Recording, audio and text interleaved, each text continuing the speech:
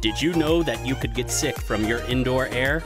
According to studies, indoor air pollution is often five times worse than the outside air. We at Gunny's Air Conditioning and Heating would like to help you keep your indoor air clear. Gunny's AC offers duct inspection and cleaning along with UV light installation.